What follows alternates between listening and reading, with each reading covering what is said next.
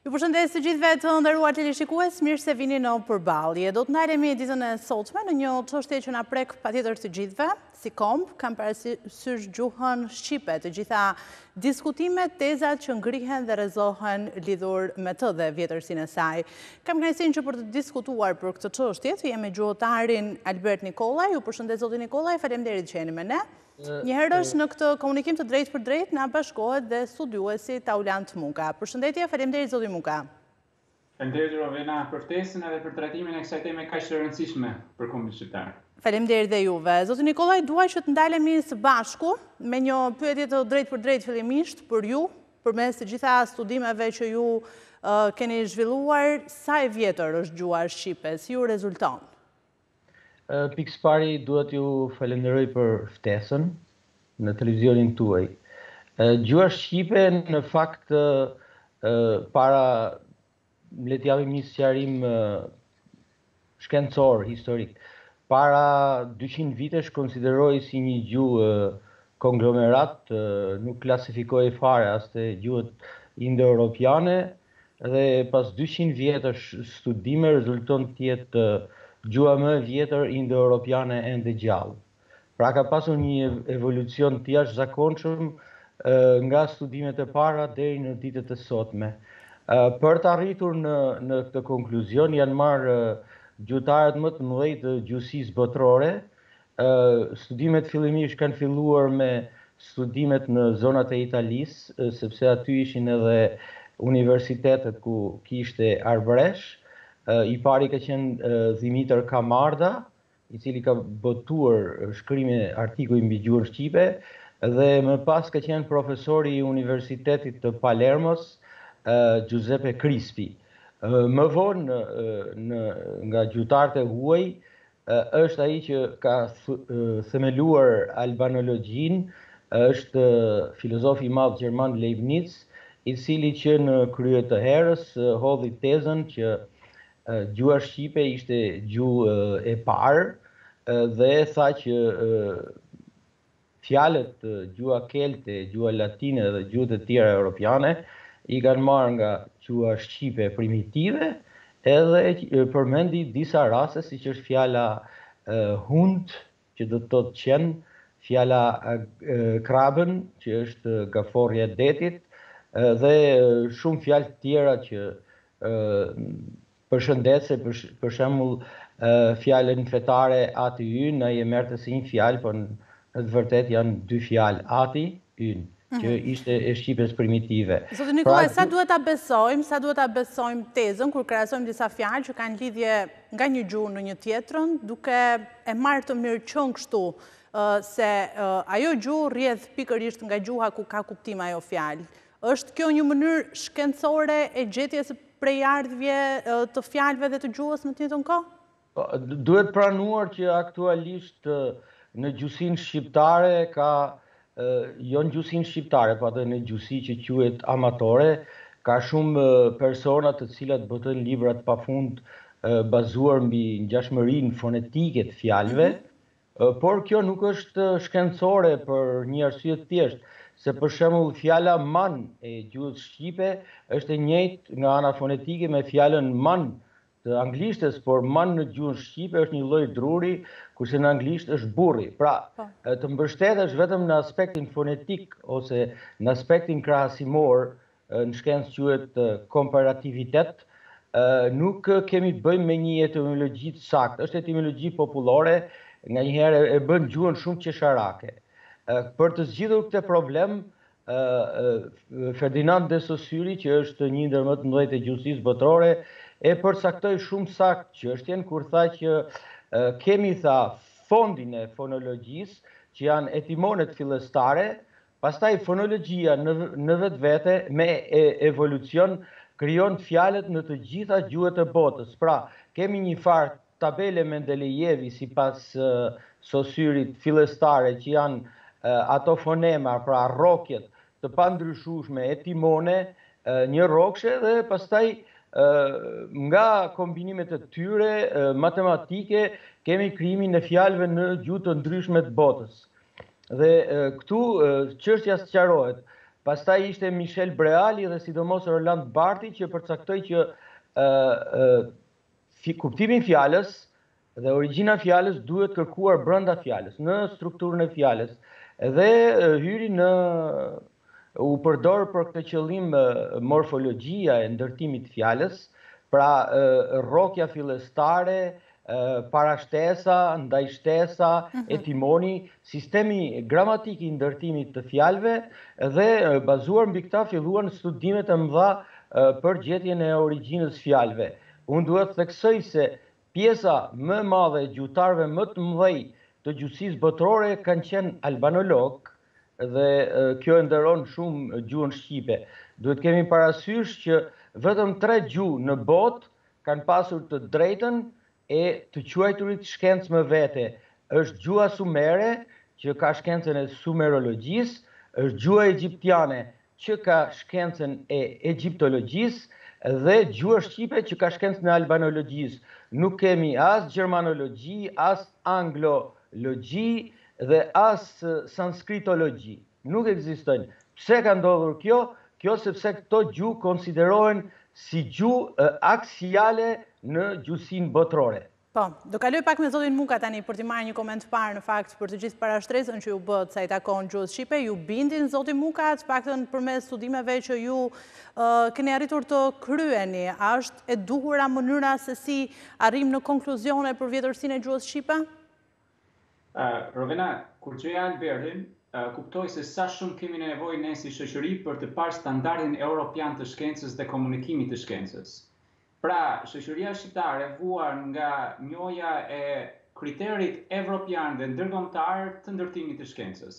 Dhe kjo ndodh për shkak sepse ata që ne i quajmë intelektualë në shoqërinë shqiptare dhe shkencëtarë nuk njihen në arenën ndërkombëtare, pra nuk i kalojnë filtrat ndërkombëtarë të shkencës. Dhe kjo është edhe arsyeja që shumë gjetje të studiuesve ne nuk i kemi të publikuara ndoshta edhe në librat shkencorë, në histori, në gjuhën shqipe. Pikërisht sepse janë të papërgatitur dhe të paaftë për të lexuar dhe interpretuar dhe për të bërë studime. Dhe ky ishte shqetësimi im i parë mbi atë peticion. Pra për mua ai peticion ishte një peticion kundër standardeve evropiane të shkencës dhe përqafim i standardeve komuniste ruse të apo të Kinës ku shkencëtarët i quan shteti dhe jo kriteri si thua shkencor.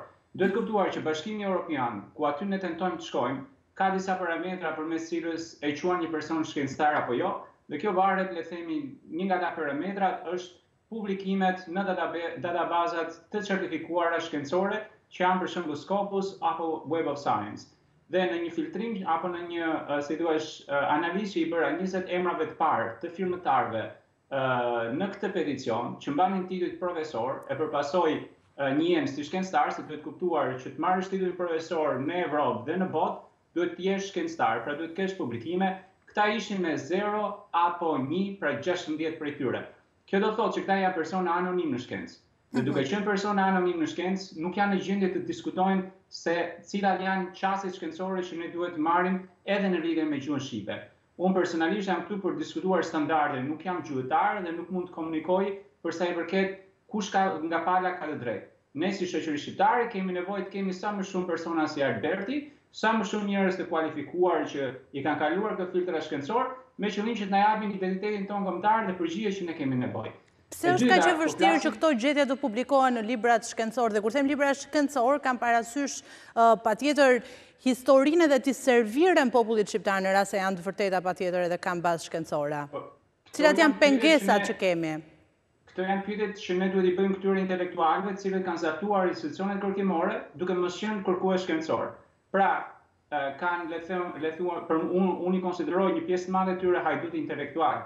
Pra kanë marrë pozicionin e personave që vërtet duhet të do kishin aftësi dhe duhet t'i drejtonin ato institucione dhe duhet të na jepnin një përgjigje për shumë aspekte të shoqërisë shqiptare përfshirë dhe gjuhën dhe ata që janë të aftë i kanë larguar dhe i kanë çuar drejt vendeve të Bashkimit Evropian dhe kjo është më pas ajo sfida që ne kemi si shoqëri për të vendosur meritokraci në shkencë. E dyta, Rovena, kur ne flasim për shkencë, duhet të kuptojmë që kur ti shkruan mbi një çështje në shkencë, duhet të paraqesësh konfliktet e interesit që ti ke. Dhe unë duke parë disa nga personat që kanë qenë, le themi, më aktivë në këtë peticion, pra edhe që janë shprehur pas peticionit, se gati 98% e atyre që kanë firmosur nuk janë shprehur më për peticionin, mhm. madje një pjesë e tyre kanë deklaruar që nuk janë nuk kanë firmosur asnjë dokumentacion dhe as kanë qenë në dijeni, pavarësisht se emrat janë aty dhe kjo më pas lë shumë dyshim për praktikën e këtyre personave. Njëri nga personat që është i përfshirë në peticion dhe ka qenë shumë aktiv, financohet nga organizata greke të cilat janë si ta thuash me prapavinë nacionaliste dhe rrjedhimisht bien ndesh me kulturën, gjuhën dhe traditën tonë shqiptare. E dyta, një tjetër një tjetër nga këta firmëtarët, sikurse është Fatos Tarifa, ka qenë rektor i një institucioni, i një universiteti që është qind për qind në pronësi të organizatës të administratës Erdogan, e cila gjithashtu ka prapavi ideologjike politike dhe në dijenin time ka pas pretendime nga ana e tyre që gjuha shqipe në të kaluarën të shkruaj të shkruhej me shkronja arabe. etj. Gjithashtu, ka dhe nga këta firmëtarë në peticion, të cilët ka të dhëna që kanë qënë antarë të akademisë, antarë të jashëm të akademisë sërbe. Kur ti antarë i një akademie të një shteti, do të thotë që përfaqëson vlerat, dhe, si ta thuash, qëndrimin publik të kësaj akademie që bie ndesh me le të themi vlerat shqiptare. Dhe këto duhet të ishin deklaruar sepse kjo ndikon shumë në gjykimin tonë se çfarë mund të shihet pas këtij peticioni dhe sa seriozisht duhet ta marrim. Mhm. E tjetra, kur thashë që ky peticion na çon në një luftë midis perëndimit, pra Europës, standardeve europiane dhe standardeve komuniste, duhet kuptuar që këto figura që unë përmenda, sikurse ne kam shënuar me qëllim se sepse po, unë po, qëllimi, brezit të uh, Taulant, qëllimi nuk është peticioni në vetvete në fakt. Unë dua shumë që të diskutojmë për gjuhën jo. shqipe, për vjetërsinë e saj sigurisht po. që mund uh, duhet ta prekim, është e kuptueshme, por uh, gjithsesi nuk e dua vëmendjen kryesore aty sa e po, dua tek mënyrat e studimit të gjuhës shqipe.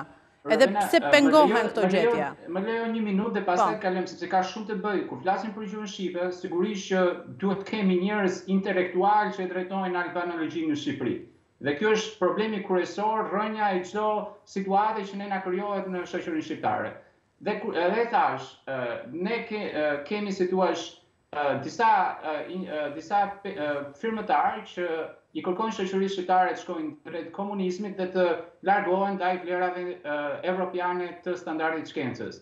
Dhe kur shikoja disa nga këta firmëtarë, si Donika Omari, që mos harrojmë që është mbesa e Enver Hoxhës, Pëllumb Xhufi, që është dhëndri i Donikës, Fatos Tarifa, që është djali i Sevo Tarifës, që i ka qenë sekretari i Enver Hoxhës, Sigurisht që flasim për persona që kanë një tjetër qasje ndaj shkencës, kjo për shkak sepse partia dhe pushteti u jep vlerë, dhe jo standardi shkencor. Dhe këtu ne duhet të ndahemi si shoqëri në mënyrë që në krye të albanologjisë, në krye të historisë shqiptare të qëndrojnë njerëz të cilët e duan vendin në radhë të parë, se nuk ka vend në botë që në krye të këtyre institucioneve nuk e duan vendin, E dyta, të kenë të gjitha standardet ndërkombëtare të vlerësimit të shkencës, me qëllim që ne shqiptarët të përfaqësohemi dhe të kemi dhe ne identitetin tonë, të cilin sipas studimeve tregohet që është shumë i vjetër. E qartë. Dhe fjalia e fundit për ta po. mbyllur, që lidhet edhe me pyetjen tuaj, mos harrojmë që ka një publikim të fundit të në revistën shkencore që është ndër revistat më prestigjioze Science, ku studiohen gjuhët më të vjetra në botë, ku dilet konkluzion që gjuha shqipe së bashku me gjuhën greke janë ndër gjuhët më të vjetra në botë që ende fliten sot, dhe në qoftë se shikojmë, si thua, analizat e paraqitura në këtë studim, gjuha shqipe del me një probabilitet që mund të datojë përpara gjuhës latine dhe gjuhës greke. Edhe me këtë shpjegim, me këtë shpjegim ne do të rikthehemi menjëherë me zotin Nikolaj, por në këtë moment do të kemi një shkëputje shumë të shkurtër në fakt. Mirë, ne rikthehemi menjëherë në studio për të vijuar diskutimin në fakt për vjetërsinë e gjuhës shqipe. Në këto momente unë do të jem me zotin Nikolaj për të marrë edhe shembujt konkretë të gjitha gjetjeve, zoti Nikolaj, që ju her pas here keni publikuar, dua që të nisim së bashku me një shkrim latinisht që përmes ndihmës së regjisë do ta ndjekim edhe në ekran në këto momente. Cili është shpjegimi që ju jepni? Po, është fare qartë ky është konsideruar një shkrim latinisht, por në të vërtetë është një shkrim shqip në në shkrim, e para është mirë se mirë se vio Sacrum Albania Alba Albanif Spray Mero do të thotë mirë se vini. Mero është fjalë e gjuhës shqipe korrespondon me fjalën mirë, është gegnisht ose mhm. mirditorës, mirditorçes dhe dibrançes fjala mirë. Sakrum Sak domethënë nga vjen fjala sak, i saktë, të saktë, sak do të thotë e vërtetë dhe Rum është një vend i shenjtë në fakt, domethënë kur themi sakrum, sakre, këto janë vend i shenjtë, është prap shpjegohet me gjuhën shqipe, Albania, mirë se vini në Shqipëri, thotë ai, mirë se vini në Albani. Albanif, domethënë shqiptarë të shpisë mirë Domethënë kanë qenë ushtarë romakë. Kjo kjo është gjetur në zonën e Shkupit. Kanë qenë ushtarë romakë, kanë luftuar, janë kthyer të vdekur si trima, si heronj, edhe iu kanë bërë dedikimin mirë se vini në vendin tuaj në Albani, domethënë me me shumë respekt. Dhe nuk ka spraj mi mer Shpraj merë ose shpaj merë është në dialektin e Dibrës, të Tetovës dhe nuk ka asnjë latinolog që mund të japi një shpjegim tjetër këtij deshifrimi. Pra, këtu jemi në atë momentin që Akademia e Shkencave nuk ka bërë klasifikimin e gjuhës e shkrimeve në gjuhën ilire, sepse si ky shkrim ka me, me shumicë, fillimisht janë shkruar me alfabetin grek, mhm. që quhet grek, por që nuk është alfabet grek, sepse këtë alfabet e kanë përdorur mesapët që në shekullin e 8 para Krishtit, ndërkohë që grekët janë krijuar si si si etni e ndarë nga etnia ilire në shekullin e shtatë dhe kanë përdorur edhe në qoftë se shohim me kujdes atë shkrimet atike shpjegohen të gjitha me me fjalët primitive të të shqipes gege ë dhe vihet re një lidhje shumë e fortë që kanë sidomos me dialektin arvanitas për shembull kur ne marrim fjalën fonetika Në fakt në gjuhën arvanite e kemi si një si një fjali folnetike. Folnetike do të thotë folur ti ke.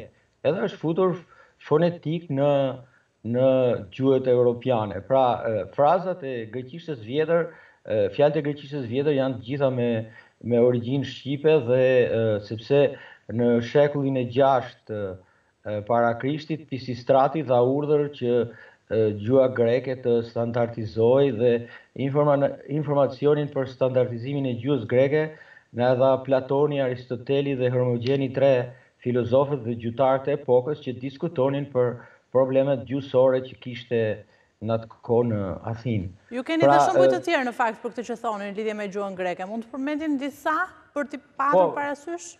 Po për shembull qoftë se shkon në muzeun e Athinës ti gjen një një gur të shkruar ku thuhet që është i padeshifruar, thuhet dielli a ata, që është në gegnisht dielli është ati. Është e shkruar, domethënë është e qartë, mund të deshifrohet fare thjesht. si këto janë jo me me qindra, janë me me mijëra. Çështja është që Akademia e Shkencave e Republikës së Shqipërisë asnjëherë nuk është mbledhur që t'i klasifikojë shkrimet dhe të përcaktojë cilat janë shkrimet që i takojnë ilirishtes. Për shembull edhe në Universiteti i Cambridge-it në një rast kur de, kur po studionte gjetjet arkeologjike, mori atë mbishkrimin e Apollonisë Fëmija hyj në ron edhe e keni aty në sitin e, e universitetit që thotë false etimologji, domethënë etimologji e, e, fake etimologji, etimologji e gabuar, sepse fëmija hyj në ron, do të thotë fëmija gëzon, ka hare, Domethënë, ose hyj në ron, është si një perëndi, dhe nuk, nuk kanë lidhje me, me greqishten e vjetër. është e vërtetë që në ndërtimin e Apollonisë, ka pasur kolonë grekë, po kolonët kanë qenë punëtorë, ata ishin mjeshtrat e ndërtimit të kolonave, dhe ngaqë ndërtonin kolona, u quajtën kolonë, dhe u paguan nga të pasurit e Ilirisë për të ndërtuar qytetin e Apollonisë. Dhe në qytetin e Apollonisë kanë studiuar shumë romakë të vjetër që janë bërë dhe perandorë në në Durrës dhe në Apolloni, kanë studiuar Ciceroni, ka studiuar ky Jul Cezari në rininë e vet dhe ata na japin informacione që aty ka vetëm ilirë dhe përmendet bile në hartat romake Greqia del nga termi, për arsye se u fut gjuha latine në gjithë në gjithë perëndorinë dhe duke qenë se nuk kishte grekë sepse edhe në Greqinë e sotme populli fliste gjuhën gjuhën ilire, arvaniten si i thonë, ata e vendosën gjithë në hartën Iliria dhe nuk nuk flasin për për etni greke, pastaj unë ju bëj thirrje të gjithë gjithë atyre që merren me mbishkrimet, le të paraqesin qoftë edhe një shkrim të vetëm ku është i, i shënuar emri grek në në këto mbishkrime në gur. Nuk nuk ekziston. Janë dy, është Iliri ose Eliri. Janë dy versione e Eliri ose Elini. Elini është versioni Eliri, Eliri është në toskërisht, Elini është në gegrisht. Dhe Elini është versioni i fjalës Iliri, që është që ka dhënë gjithë zonën. Pra, janë gjëra të cilat Me studime të thjeshta dhe me, me, me zbatimin e ligjeve gjuhësore, duke përdorur edhe ato normat e deshifrimeve që na jep Universiteti i Gjenevës, fare thjesht i nxjerrim si shkrime ilire. Mhm. Pastaj janë me me me me një numër i pafund shkrimesh mesape, që fillojnë nga shekulli i tetë në në zonën e Italisë, që italianët i ruajnë me shumë fanatizëm, edhe e, shpjegojnë edhe origjinën e Romës nëpërmjet, ata mendojnë që nga Brindisi fiset që zbritën nga Molosia e vjetër, Korça e sotme, për arsye që Nuk i dimë, ndoshta ka pasur presione e pushtime apo ardhje popullatash tjera, zbritën, u vendosën në Brindisi dhe u organizuan dhe kanë pasur një mbretëri shumë të fortë molosët dhe japigët dhe ata shkuan edhe drejt perëndimit të Italisë dhe qyteti, zona ku ku kriju u krijua Roma quhej Alba Longa. Pra mhm. kishim Albanoi që është Albanoi, Alba e Noit, që është në në zonë afër Tiranës aty poshtë Krujës, ku janë muret ciklopike, ishte edhe zgjatimi i i Albanoit që quhet Alba Longa. Dhe këto janë rrjedhje logjike dhe gjatë luftës që bëri Genti për shembull me me ushtrinë romake, zona e, e brigëve ose e, e frigjeve që ishin këta të Tiranës, Durrësit u rreshtuan përkrah Romës, sepse thonin që Alba Longa dhe Romakët ishin fëmijët e ishin pasardhësit e tyre dhe luftuan kundër Gentit. Nuk ka pas etni në atë kohë, kanë qenë fise dhe rrjedhje fisesh dhe organizoheshin dhe vendoseshin luftë në bazë të lidhjeve të tyre të gjakut, pavarësisht se ilirët dhe dhe epirotët, sepse duhet kemi parasysh që epirotët po. shkonin deri në Lezhë, dhe dhe Skënderbeu e ka quajt veten mbret i epirotëve, flitnin të njëjtën gjuhë, por ndarja bëhej për shembull unë kam konstatuar ndarjen në studimin e foljes qen, sepse zona ilirike ka përdorur termin kan, a kan, ka me kan, ka për me kan, që i hasim a i ken edhe në anglisht. Mhm. Kurse zona, zona e, e, Epirit, Epiro Maqedone që e quajmë ne, ka përdorur o qenë, ka qenë, ka me qenë. Vetëm një pyetje për të gjitha po. shembujt që janë shumë të mjaftueshëm në fakt. Keni po. tentuar që t'i publikoni në, po themi nëpërmes institucioneve shqiptare të gjitha gjetjet tuaja? Jo, duhet kemi parasysh që unë nuk kam tentuar asnjëherë të jem anëtar i Akademisë së Shkencave të po. Shqipërisë, siç nuk kanë tentuar as studiues të mëdhenj të të aktual, siç është për shembull Përparim Kabo, që është filozof i, i certifikuar në Gjermani, në Suedi dhe në Angli, ja kanë dhënë ata titullin. Nuk nuk e ka kërkuar Kabo. Ata të certifikojnë mbas punës shkencore që bën. Nuk e ka bërë këtë. Ka qenë zgjedhje individuale e juaja, zoti po. Nikolla? Nuk e ka bërë këtë as Aurel Plasari, s'është anëtar i Akademisë së Shkencave, nuk ka ndonjë erudit më të madh se Aurel Plasari në Shqipëri aktualisht. Kabo dhe Plasari janë po një dyshe e jashtëzakonshme. Pse keni zgjedhur? Pse keni zgjedhur që mos të bëheni pjesë? Unë jam ftuar nga Akademia Belge, jam ftuar në mënyrë të rastësishme, në një moment të caktuar një ndër filozofët më të mëdhenj të botës, Serge Dubrovski, arrin në Akademinë Belge dhe u vë kusht atyre që për prezantimin e librit të tij dua filan person, Albert Nikollën. Sepse unë kishte folur dikush në Akademinë e Parisit, Athanas Vatçev de Thracy i kishte folur për një studiues, një poet të veçantë shqiptar Albert Nikolla dhe ai më ftoi dhe unë shkova aty dhe aty ishte një moment që Akademia Belge filloi të më ftojë. Pastaj aty më më më tha një një student i Universitetit të Amsterdamit që ishte ndier shumë keq sepse profesori kishte thënë që gjuha shqipe është gjuha që ka huazimet më të mëdha në botë dhe simas Kolec Topallit shkonte Nëntëdhjetë e tre për qind e leksikut të gjuhës shqipe që është shumë gënjeshtër.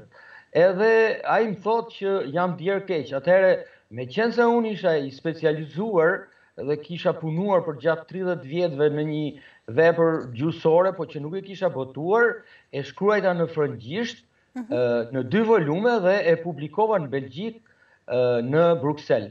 U pranua nga Akademia Belge, mas tre vjetesh më vjen një letër nga drejtoresha e e studimeve e shtëpisë botuese europiane me qendër në Londër, ku më thotë që kërkon të botojë veprën time në frëngjisht, sepse unë nuk e kisha përkthyer në anglisht. Po, dhe mas kësaj më vjen edhe një... Pra ka qenë zgjidhje individuale juaja edhe në po, pas karrierë që keni patur. Po, vjen edhe një kërkese e Akademisë Amerikane që vepra ime në shqip, pasi e botova dhe në shqip 22-shin, mhm. ata Akademia Amerikane kërkonte që ta botonte në emrin e vet edhe ta të mund ta ruante te Legacy Printer e Kongresit Amerikan. Ata e botuan dhe mu thjesht më erdhi një pagesë në konton time bankare. Pra unë nuk është se kam kërkuar ndonjë titull shkencor. Kam bërë punën time shkencore, i fundit që ishte ishte një ndër pesë universitetet më prestigjioze të Europës, është konkretisht Universiteti i Gentit, më dërgoi një link që kishte certifikuar nga ana shkencore librin tim dhe e kishte futur si literaturë shkencore për studentët dhe studiusit e Universitetit të Gentit. Do të kemi parasysh që është i jashtëzakonshëm si universitet. Unë s'njoh njeri aty dhe nuk më intereson të njoh njeri. Unë e kam marrë statusin si studiues, kam një licencë që më ka dhënë Shteti belg në fushën e komunikimit të artit prehistorik, landartit, deshifrimeve të shkrimeve që i kam bërë te Instituti Roger Gilbert dhe kam licencën e nevojshme për punë shkencore, nuk interesohem unë që të kem miqësi apo ashtu, unë e paraqis punën shkencore dhe kjo klasifikohet nga universitetet. Edhe përqafohet patjetër nga gjithë ata që janë të interesuar. Unë ju falenderoj shumë zoti Nikollaj. Zoti Buka, dua një koment të fundit dhe të shkurtër nga ana juaj, pasi jam në limitet e kohës. Në fakt, prisni se do të ketë një përmirësim të situatës sa i takon studimeve, qoftë të gjuhës shqipe, po edhe më tej nga institucionet shqiptare? Rubino, unë besoj, po edhe ti, po gëzoheshe shumë nga ato që po na paraqiste Alberti. Dhe do donim shumë që këto që po thoshte Alberti të ishin edhe pjesë e komunikimit dhe transmetimit te nxënësit shqiptarë, jo vetëm ata të huaj. Kur bota jashtë do kaq shumë të vërtetën, gjuhën shqipe, ne duhet ta donim shumë më shumë dhe ta mbanim si ajo foshnja e vogël që ta ruanim si duhet pasi na jep horizonte të reja përsa i përket shtetit shqiptar. Mos harrojmë që shtetet e tjera të cilat nuk e kanë kaq të vjetër ose mendojnë ta kenë kaq të vjetër gjuhën e tyre, kanë ngritur një histori dhe vlera që për shkak të asaj historie kanë atë impakt ndërkombëtar sot. Dhe unë prandaj për ta mbyllur i kam nisur një letër Ministrisë së Arsimit, Kuvendit, i kam nisur Komisionit Medias në Parlament dhe Edukimit, me qëllim që të fillojmë të ndërtojmë meritokracinë në shkencën shqiptare, të fillojmë të, të aplikojmë standardet e Evropës në shkencën shqiptare me qëllim që njerëzit të cilët e duan shkencën, njerëzit të cilët punojnë për shkencën, të cilët investojnë tek kombi dhe jo tek pasuria personale dhe privilegjet që marrin, të vendosen në krye të këtyre institucioneve. Është një çështje që patjetër edhe ne do ta ndjekim, të të premtoj për këto. Dhe dhe ju lus sepse Shqipëria sot po. gjendet e fundit në rankimet evropiane dhe ndërkombëtare për sa i përket produktit shkencor,